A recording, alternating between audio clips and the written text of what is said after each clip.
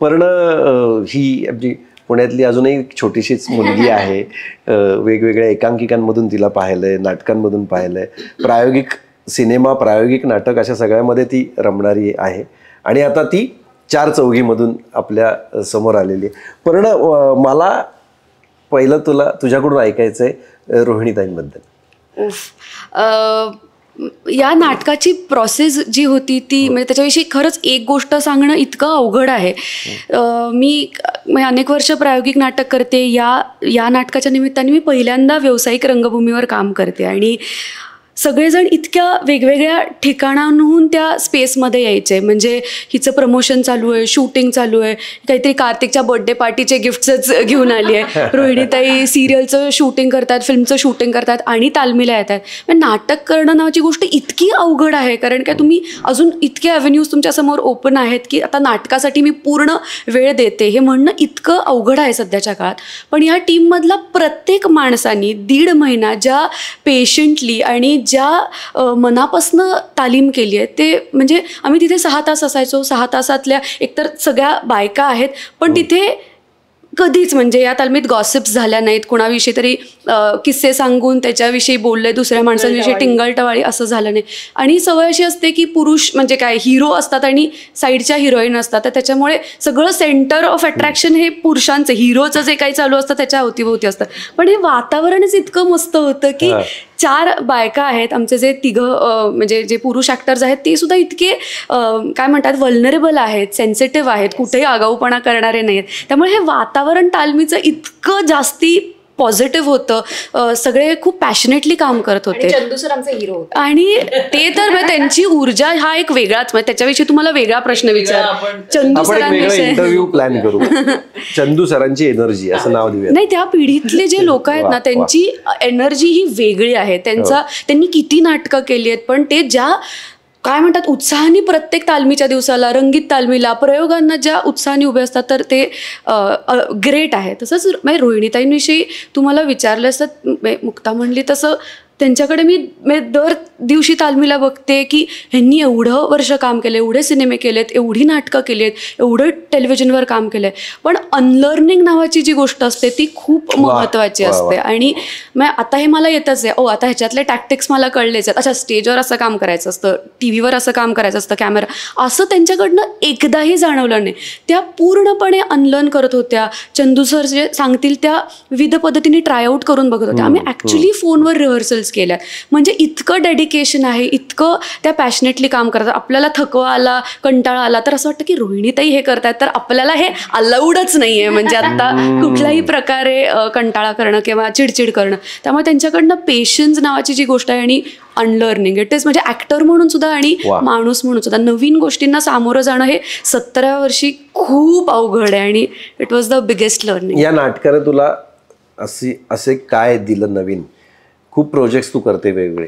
ह्या नाटकानं काहीतरी दिलं असेल. एक गोष्ट खरंच खूप सांगणं अवघड आहे पण मी म- म्हणाले तसं नाटक करण्याची नाटक करण्याची जी पॅशन आहे या अख्ख्या ग्रुपमध्ये ती ग्रेट आहे. आणि आत्ता आपल्याकडे इतके वेगवेगळ्या गोष्टी आहेत ना म्हणजे मी मी रील्स पण करू शकते मी छोटे व्हिडिओज करून पण फेमस होऊ शकते मी काही करू शकते. मी ओ टी टीवर सिरीज करू शकते. पण नाटक नावाची गोष्ट इतकी अवघड आहे ना सस्टेन करायला. तुम्हाला तालमींसाठी वेळ द्यावा लागतो. प्रयोग तो आम्ही तीन तासाचा प्रयोग करतो. तीन अंकी नाटक आत्ताच्या काळात होतं आहे ही खूप मोठी गोष्ट आहे. आणि मोठी म्हणजे. कारण काय आणि लोक येतात बघायला. म्हणजे मी ज्या प्रकारचं नाटक करत आले तिथे लोक येतात नाही आहेत म्हणजे प्रायोगिक नाटकाला दरवेळेला अरे शंभर लोक आले तरी छान वाटतं दीडशे लोक. या नाटकाला नऊशे नऊशे लोक येतात. हजार लोक एका म्हणजे एका प्रयोगाला असतात. ही खूप अश्युरिंग गोष्ट आहे की लोकांना अजूनही जिवंत कला बघण्यात रस आहे. आणि या नाटकाची सगळ्यात म्हणजे मस्त गोष्ट अशी आहे की प्रशांत दळवी आणि चंद्रकांत कुलकर्णींनी इतकी वर्ष काम केलं आहे म्हणजे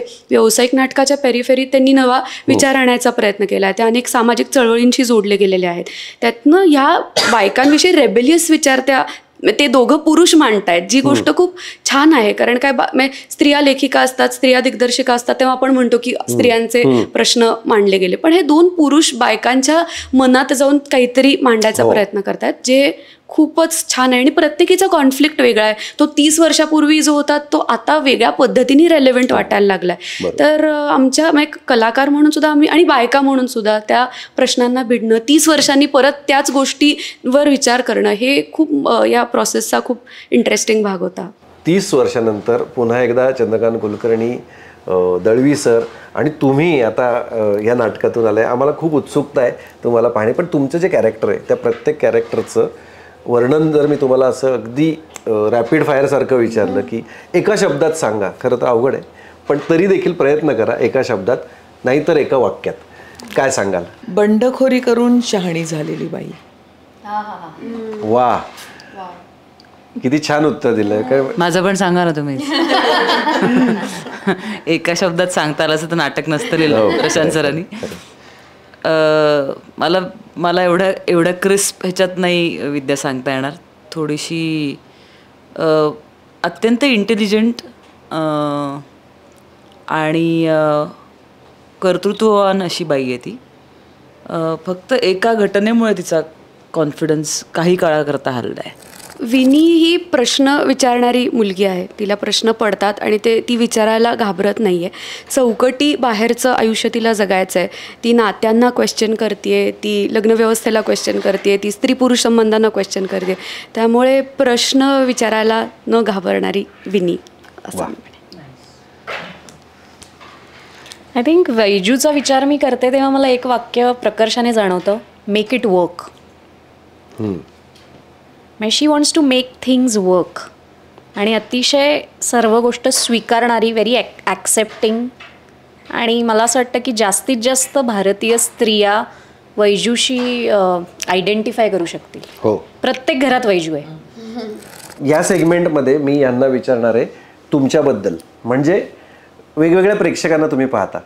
तर प्रेक्षकांबद्दलच्या काही अनुभव किस्से पण आवडतील. आम्हाला ऐकायला आवडेल कारण नाटक हे प्रेक्षक आणि नट हे दोघं गिव्ह अँड टेक त्याशिवाय नाटकच होत नाही. पुण्याचे मुंबईचे ठाण्याचे प्रेक्षकांबद्दल मला ऐकायचं तुझ्याकडून. डेफिनेटली वेगवेगळे प्रेक्षक असतात पण एक कुठेतरी अनसेड कम्युनिटी असते ती नाटकवाल्यांची. ते नाटकवाले प्रेक्षक असतात त्यामुळे ते कुठच्याही वेगळ्या सिरीजच्या वेबसिरीजच्या सिनेमाच्या प्रेक्षकांपेक्षा ते नाटकाचे प्रेक्षक असतात. त्यामुळे एक त्या सगळ्यामध्ये एकसंधता जाणवते. गेली सहा वर्षच अशी होती जेव्हा मी कोडमंत्र बंद केलं आणि नवीन नाटकाचे प्रयोग केले. अदरवाईज मी गेली वीस बावीस वर्ष सातत्याने नाटक करते. जरी मी सिरियल करते जरी मी सिनेमा करते तरी मी नाटक करतेच आहे. आणि माझी ती सहा वर्ष मलाच खूप अनइझी होत होतं की मी नाटक करत नाहीये. आणि आता अचानक चार चौघी आलं प्रिय भाई एक कविता हवी आहे त्याचेही प्रयोग मी करते तर मला जरा परत छान वाटतं की हां प्रेक्षक आहेत त्यांचा आवाज आहे त्यांचा प्रेझेन्स आहे. ती तिकडचा अंधार इकडचा उजेड यातलं मिक्सचर आहे तो मधला एरिया आहे. ते त्यांच्यामुळे होणारा प्रयोग प्रत्येक प्रयोग एक्सक्लुझिव्हच असतो वेगळाच असतो. डिझायनर साडीसारखं असतं ते. की त्या प्रेक्षकांकरताच घडलेला हा प्रयोग असतो. मा गंधर्वला पाहिलेला प्रयोग तू यशवंतला बघूच शकत नाहीस असं ते असतं. त्यामुळे तू जो यशवंतला बघतोस तोच प्रयोग तेव्हाच फक्त होतो. किंवा प्रेक्षक वेगळा गडकरीचा करेक्ट होतं. तर त्यामुळे ती मला तरी असं वाटतं की त्यांच्याकडे एक तू परदेशात जा ठाण्यात जा नाहीतर वाशीत जा किंवा सोलापूरला जा. एक नाटकाचा प्रेक्षक हा एक वेगळी कम्युनिटी आहे. आणि मग भाषेमुळे होणार थोडासा फरक वा. रोहिणीताई तुम्ही तर गुजराती नाटक पण करता. हो. हिंदी गुजराती अनेक भाषांमध्ये. गुजराती प्रेक्षक मराठी प्रेक्षक इंग्लिश प्रेक्षक हिंदी प्रेक्षक असं काही फरक जाणवलाय कधी? थोडासा गुजराती आणि मराठीमध्ये जाणवतो. कारण मराठीला आपली आपण म्हणतो परंपरा आहे शंभर वर्षाची शंभर पर वर्षापेक्षा जास्त परंपरा आहे. आणखीन खरोखर मराठी प्रेक्षक हा थिएटरवर प्रेम करणारा आहे. अत्यंत प्रेम अस प्रेमच आहे म्हणजे नाटकावर मराठी प्रेक्षकांचं. गुजरातीमध्ये सुद्धा सुरुवातीला भांगवाडी थिएटर होतं पारसी थिएटर होतं. थिएटर त्यांच्याकडे सुद्धा ती परंपरा आहे. परंतु मधल्या काही काळामध्ये मे बी ती थांबली कुठेतरी. आणि मग परत थिएटर चालू झालं. तर अर्थात ते समाधान मिळतंच की आमचे पहिले चार प्रयोग जे हाऊसफुल झाले म्हणजे असं छाती दडपली माझी. माय गुडनेस काय प्रेम आहे. नाही असं तेच. आहे की आता एकीकडे असा विषय आहे की मराठी चित्रपट थिएटरला येतात कधी येतात कधी जातात अनेक चित्रपट असे आहेत. आणि मी ते खूप जबाबदारीने हे विधान करतो आहे कारण आजूबाजूला परिस्थिती तशी आहे. पंच्याहत्तर रुपये तिकीट थिएटरला राष्ट्रीय पुरस्कार राष्ट्रीय चित्रपट महोत्सव म्हणून त्यांनी आत्ता मल्टिप्लेक्सनी केलं. तर थिएटरला गर्दी झाली. पण तुमच्या नाटकाला पाचशे रुपयाचं तिकीट काढून लोक एक तासात प्लॅन फुल करतायत. पुण्यामध्ये तर एका प्रेक्षकाने चंद्रकांत कुलकर्णींना पोलिसात जाऊ का अशी धम धमकी पण दिलेली आहे की आम्हाला तिकीट कसं नाही मिळत आहे. तर मग हा जो विरोधाभास आहे की एकीकडे प्रेक्षक येत नाहीत मल्टिप्लेक्समध्ये आणि नाटकाला पाचशे रुपयाचं तिकीट काढून सुद्धा प्रेक्षक येत आहेत. तुम्हाला तुमच्या जवळच्यांना नाकारावं लागत असेल असेही हे. खूप चांगलं आहे. चार चौघीचं तिकीट मिळत नाही म्हणून मी यांच्याशी भांडू शकतो. कारण हे पण काही करू शकत नाही. तिकीटच नाही आहेत नाटकाची. ह्या सगळ्या परिस्थितीकडे परिणत तू कशी बघतेस? नव्या पिढीची एक प्रायोगिक तू पण काम काम करतेस पण कसं बघतेस या परिस्थितीकडे? मला असं वाटतं कोविडची जी दोन वर्ष होती ना तर ती आपल्या कुणालाच अपेक्षित नव्हती. म्हणजे त्याच्यात जे आपल्याला आपल्या मनाला झालं अनेक लोकांना प्रचंड एकटं वाटलं कुटुंबापासून दूर होते जवळची माणसं गेली.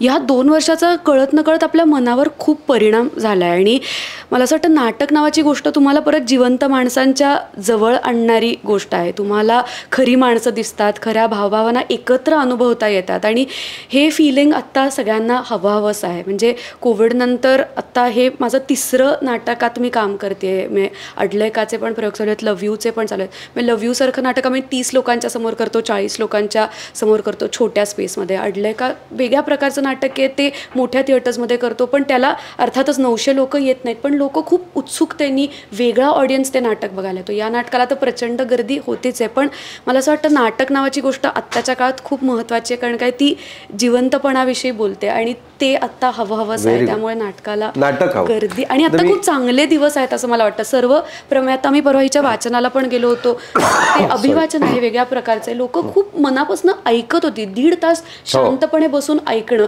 आपला कॉन्सन्ट्रेशन स्पॅन इतका कमी झाला आहे ना कारण काय तीस सेकंदात एक मिनिटात आपल्याला अ, फोनवर वेगवेगळ्या गोष्टी स्वाईप करायची सवय. पण शांतपणे तुम्ही दीड तास नाटक ऐकता मराठी भाषा तुमची चांगली कानावर पडते हे खूप महत्त्वाचं आहे. आणि लोकांना आता ते हवं आहे सो आता प्रेक्षक पण खूप प्रेमाने म्हणजे फक्त पुण्या मुंबईत नाही महाराष्ट्रभर लोकांना हवेत नाटकाचे हो प्रयोग. आता चार चौघी सुद्धा तीन तास म्हणजे हे एक मेडिटेशन आहे तीन तासाचं. मोबाईलपासून लांब.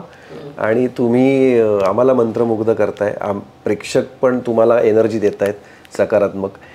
आपण आजच्या इंटरव्ह्यूच्या शेवटच्या सेगमेंटकडे आता येऊयात. मी अं, रोहिणी जे तुम्हाला असा प्रश्न विचारतो हिनं आत्ता सांगितलं रील्सच्या जमान्यामध्ये तीन तास लोकांना एकत्र चंद्रकांत कुलकर्णी बसायला लावताय तुमच्या माध्यमातून. तुम्ही रील्स बघता का हो? मोबाईलवरती? मी बघते रील्स बघते. मला करता येत नाहीत. मी तशी मोबाईलपासून किंवा सोशल मीडियापासून फार तशी लांबच आहे. मला फक्त पोस्ट टाकता येतात आणि त्याच्यामध्ये जे छाछुगिरी करतात ती मला येत नाही करायला. हो. पण पण बघा ह्या तिघींकडून मला तुमच्याबद्दल खूप समजलंय. तुम्हाला ना तुम्हाला हे सगळं माहिती असतं. तुम्ही दाखवत नाही तुम्हाला माहिती आहे. नाही नाही खरंच नसतं माहिती मला. म्हणजे आता ह्या नवीन पिढीची हिची हिची आणि हिच्याही पुढच्या पिढीची आता एक वेगळी भाषा आहे. ते मोबाईलवरती रिप्लाय करताना सुद्धा एल ओ एल किंवा एच बी यू असे छोटे छोटे रिप्लाय करतात. तर ते तुम्हाला समजतं का हो? काहीसं समजतं. काही फारच जे नवीन आहेत ते नाही समजत. म्हणजे एल ओ एल हे मला समजायला मला वाटतं एक पाच वर्षापूर्वी मला हे समजलं. एल ओ एल म्हणजे काय? तुम्हाला एच बी यू म्हणजे काय माहिती आहे का? अं, ते मलाही नाही माहिती. नाही. How about you how about you बरोबर? योलो माहिती आहे? YOLO Y O U only live हा यू ओनली लिव्ह हा म्हणजे असं ते लॉंग फॉर्म डिराईव्ह करू शकतो आम्ही पण ते इमिजिएटली येत नाही. ओके ओके एक लाइट मोडवरचे प्रश्न. आता मी अगदी थोडक्यात प्रश्न शेवटच्या एक एक एकेका शब्दातले तुमची उत्तरं असतील. रॅपिड फायर आपण त्याला म्हणू शकतो. मुक्ता मुंबई पुणे मुंबई की एका लग्नाची गोष्ट? काय यातलं काय? ही मुक्त आहे. आम्हाला तर दोन्ही एक आवडतं सिरियल होती एक सिनेमा रॅपिड फायर मधलं उत्तर द्यायचं असेल नाही माझ्या फारच जवळच्या आहेत दोन्ही जवळचे आहेत. आणि तू त्या प्रोजेक्टमुळेच प्रेक्षकांचे हे सगळे एपिसोड बघणाऱ्या प्रत्येकाची तू खूप जवळची आहेस. कारण ते खूप आमच्या जवळ येते दोन्ही कलाकृती. हरकत नाही. तुला प्रचंड चीड कशाची येते? नाटक चालू असताना फोन वाजतो तेव्हा. असं मग काय काहीतरी सांग ना मग असं कधी काय झालंय? कसं असं कधी काही झालंय का? याचा एक किस्सा हवाय तुला? नाही जसं मगाशी तोंड भरून मी प्रेक्षकांचं कौतुक केलं तसंच हेही झालंय थोडंसं की आपल्याला इतर माध्यमांची एवढी सवय झाली आहे मनोरंजनाच्या की समोर जिवंत कलाकार आहेत हे कधी कधी विसरायला होतं लोकांना. नाटक चा- तुम्ही सादर करत असताना आम- आम्ही ते रिसीव्ह करत असतो. त्यामुळे आमचंही पार्टिसिपेशन तेवढंच असतं. तुमच्या बरोबर एक ऑरा तयार झालेला असतो. अशा काही गोष्टींमुळे तो ब्रेक होतो. मान्य आहे आपले फोन वाजणार नाहीत हीच या कलाकारांना दाद असणार आहे नाटकाला. ह्याची आपण काळजी घेतली पाहिजे. मुक्ता शेवटचा प्रश्न तुला आजच्या इंटरव्ह्यूचा की मुक्ता कशी आहे? म्हणजे जसं म्हणतात ना सेव्हिंग इन्व्हेस्टिंग असं काही लाईफ जगतात आणि काही जण live life queen size queen size असं म्हणतो कारण ते किंग साईज आहे. पण आम्ही चार चौकीच्या बरोबर तसं म्हणूच शकत नाही. म्हणू शकत. आम्ही उठून तुला चेंज केलंय लिव्ह लाईफ क्वीन साईज या दोन्हीपैकी तू कशी आहेस? नाही मी हंबली जगते आयुष्य. असं काही क्वीन साईज वगैरे नाही पण आता एखादी क्वीनच असेलच स्वतः तर तशी जगेल. तसं आपण जगतो नाही का ग? असं आहे. पण नाही म्हणजे जे आहे ते आनंदाने जो क्षण मिळतो तो छान जगावा असं मला नेहमी वाटतं. मुक्ता तू आमची खूप लाडकी आहेस. मुक्ताचं स्वतःचं एक राज्य आहे आणि त्या राज्याची मुक्ता राणी आहे. असं आम- आमचं मत आहे. थँक्यू मुक्ता. अं, पर्ण तुला एका शब्दात उत्तर दे की नाटक की सिनेमा? सोपं मला वाटतं करण्यासाठी सध्या माझं नाटकच चालू आहे त्यामुळे नाटक. बरं सिनेमा जर म्हटलं तर मग पॅरल फिल्म की कमर्शियल फिल्म असं काही नाही म्हणजे मला चांगली फिल्म चांगली फिल्म हा चांगली. कादंबरी माझी रॅपिड फायर दे नाही. नाही नाही चांगलं आहे. मी आता कादंबरीला विचारतो. अं, कादंबरी अं, कादंबरी तुला कॉम्प्लिमेंट खरं तर पहिल्यांदा तुझा स- संवाद सुरू करतानाच द्यायला पाहिजे कॉम्प्लिमेंट. कारण मी तुला खूप म्हणजे अवघाची संसार किंवा तुझी क्षणभर विश्रांती नावाची फिल्म होती. त्या सगळ्यामध्ये कादंबरी जशी दिसत होती आत्ताही ती तशीच दिसते कॉम्प्लिमेंट टू यू आणि असंच तिच्यासारखंच अनेक म- मुलींना व्हावंसं वाटतं बायकांना व्हावंसं वाटतं अशी तुला एक कॉम्प्लिमेंट आहे. आता तुला एक प्रश्न की तुला सोज्वळ भूमिका करायला जास्त आवडतात की बिनधास्त? मला सर्व प्रकारच्या भूमिका करायला आवडतात. पण त्यातले तुला जास्त जवळची भूमिका- चॅलेंजिंग होतो फार. चॅलेंजिंग आहे सोजवळ भूमिका. तू बिनधास्त आहेस. आहे तशी म्हणजे जे आहे ते आहे. त्यात काही हो पण मला नेगेटिव्ह करायला खूप आवडेल. जे माझ्या वाट्याला अजून आलेलं नाहीये. कुठली तरी नेगेटिव्ह भूमिका जी मला करायला आवडेल चंद्रकांत कुलकर्णी ऐकतायत बरं का हा सर प्लीज ऐका. ओके अवघाची संसार की तुझं विण सख्या रे? नाही हो असं नाही सांगता येणार. Don't make me. चूज मुक्तासारखंच दोन्ही हो. अर्थातच अर्थातच. तर दोन्ही सिरियल्समध्ये खूप प्रेक्षकांचं मला प्रेम मिळालं. त्यामुळे असं ते ते आईला विचारल्यासारखं होतं ना तुला कुठलं मूल आवडतं तुझं जास्त? असं नाही सांगता येणार. बरं हरकत नाही. इंटरव्ह्यूचा शेवट येताना मी रोहिणीताईंना प्रश्न विचारणार आहे की आता आता तुम्ही प्लीज यांच्यासारखं उत्तर देऊ नका की दोन्ही कलाकृती. कुठलं तरी एक काहीतरी आपलं छान वाटतं जवळचं. सगळीच मुलं आवडतात आईला. पण तुम्हाला सारांश की Munnabhai M B B S अरे बापरे. वेगळीच फिल्म निवडलीत तुम्ही. मला वाटलं होतं सारांश का गांधी. सारांश का गांधी? खरं तर हो होतं. पण सारांश आणि गांधी दोन्ही नाही मग ज- जरासं सोपं गेलं असतं कारण सारांश म्हटलं असतं मी. पण सारांश आणि मुन्नाबाई म्हटल्यानंतर थोडं जरासं अवघड येते मला. मला कारण मला ती मुन्नाबाई मधली सुद्धा तितकीच आवडते ती कॅरेक्टर हो. म्हणजे अगदी छोटी असली तरी सुद्धा मला खूप आवडते ती. आणि त्यावेळेस जो मला एक्सपिरियन्स आला इवन सुनील दत्त साहेबांच्या बरोबर. आणि त्या दोघांना बघताना मला जो हा मिळाला होता. इट वॉज समथिंग एल्स त्यामुळे मला ती जास्त म्हणून म्हटलं तुम्ही वेगळीच फिल्म निवडली. हो वेगळी निवडली मुद्दाम कारण गांधी आणि सारांश हे आमच्या दोन्ही आम्हालाच खूप जास्त ते. चॉईस आपल्याला त्यांनी एक म्हणलं नाही ती आम्हाला म्हणा." आम्हाला आम्हाला आवडतं ना. आणि आणि ह्याच्यात मुन्नाबाई एमबीबीएसमध्ये गांधी आहेत ना? बरं हरकत नाही. चार दिवस सासूचे की होणार सून मी या घरची? अरे बापरे. दोन्ही खरं म्हणजे. कारण दोन्ही वेगवेगळ्या भूमिकाच वेगवेगळ्या होत्या. त्याची जन म्हणजे एक प्रकृती दोन्ही ह्याच्या वेगळ्या होत्या. कारण ती थोडीशी चार दिवस एकतर बारा वर्ष चालली. पण ती भूमिका जी होती ती अत्यंत डॅशिंग आणखीन अशी करारी अशी होती. इकडं सुद्धा आजीची आहे तरी सुद्धा ती प्रेमळ आहे आणखीन तितकीच करारी आहे पण ती वेगळ्या प्रकाराने आहे. सो तसं डिफरन्शिएट नाही करता येते मला. तुला कुणीही एक सांगितलं नाही नाही काही नाही. काही नाही.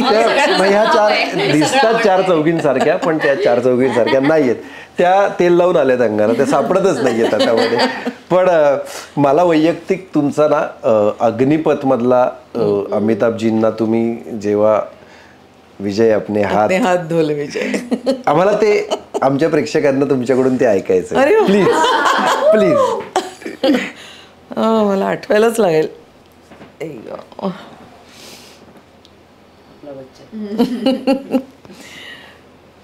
अपने हाथ धो ले विजय.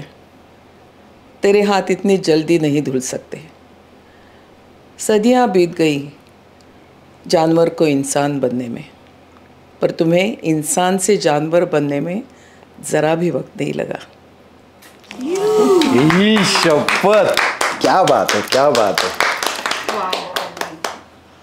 या सर्व कलाकारांनी एकाही प्रश्नाला अ, बगल दिली नाही जरी मला गंडवलं त्यांनी मध्ये जरा. पण आर पार माझ्याशी त्यांनी गप्पा मारल्या. आणि रोहिणीताई तुम्ही तर म्हणजे कळस चढवलात. किती ग्रेट आहेत किती मोठमोठ्या कलाकृतींमध्ये कलाकृतीमध्ये आपण यांना पाहिलेलं आहे. आणि चार चौघीसारखी कलाकृती ज्यांना मी चंद्रकांत कुलकर्णी सरांना म्हटलं आणि यांनाही म्हटलं की या नाटकाची एंट्रीच हेलिकॉप्टरनी झालेली आहे. कारण प्रेक्षक तुडुंब गर्दी करतायत.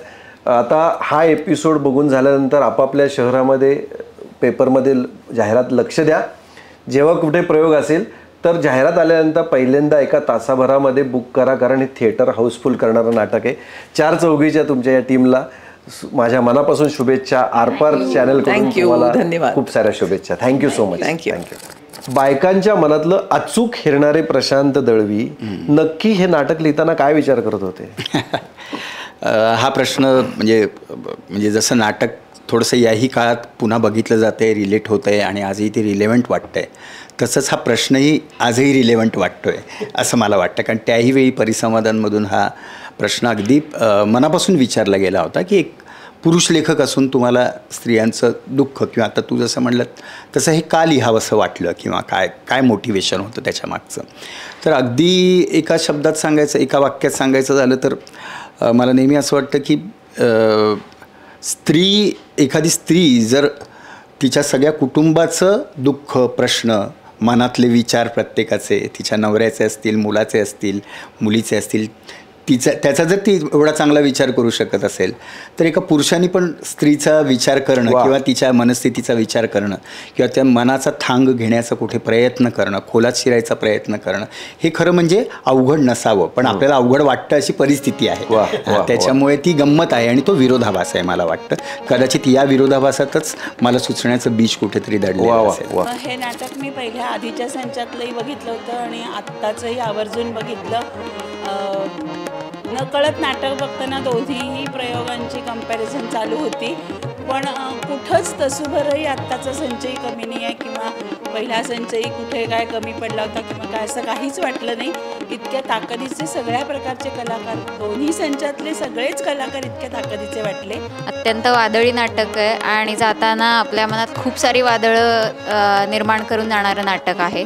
विचार करायला लावणारं आहे आणि तेवढ्याच सक्षमपणे सगळ्या कलाकारांनी ते पेललेलं आहे. यामुळे कुटुंब संस्थेवर काही परिणाम होतील की काय असं मला या नाट हे नाटक बघितल्यानंतर वाटलं. जरी आधुनिक विचाराचा असे असेल आम्ही तरीसुद्धा ह्याच्यामुळे तो एक परिणाम होईल. आणि आपली जी खरी भारताची जी खरी संस्कृती आहे म्हणजे पारंपरिक आपण जे असं म्हणतो तर त्याच्यावर आपला थोडासा घाला घातल्यासारखं असं मला वाटतं स्वतःला सबस्क्राईब करा. आर पार